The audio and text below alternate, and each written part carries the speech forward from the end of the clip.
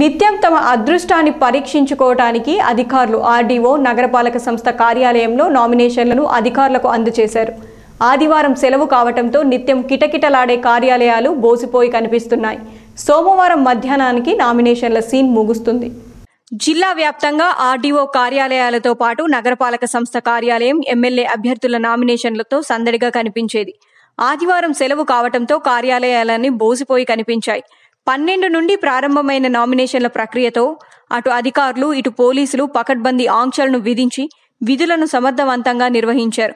మొదటిసారి ఆదివారం సెలవు దినం కావటంతో అభ్యర్థులతో పాటు సంబంధిత అధికారులకు విరామం లభించింది.